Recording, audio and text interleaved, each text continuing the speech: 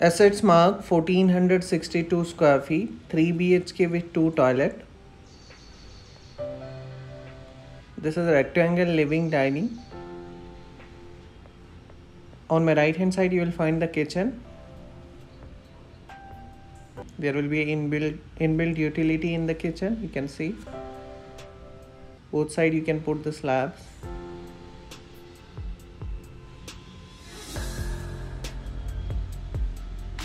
Again I am showing you living dining. Then on my right there will be a master bedroom. This is the master bedroom with wooden flooring with tucked in space inside the wall for wardrobes. And you have top to bottom windows. Then you have attached toilet here with Jaquar fittings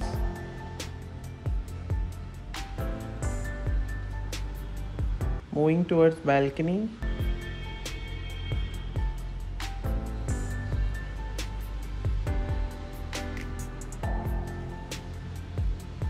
So you have wooden finishing tiles in balcony. That's tower number 7 which is under construction phase 3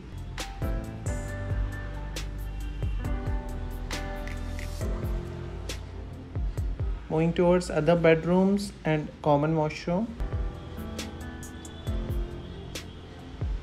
a common washroom with Jaquar fittings. Then you have second bedroom with same concept of windows.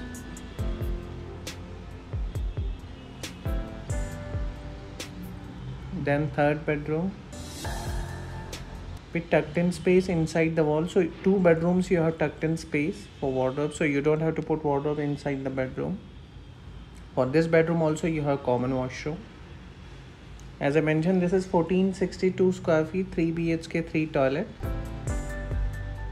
These dimension you can find almost all the towers like tower 5 tower 6 tower 7 and tower 8 i'm showing the entire house again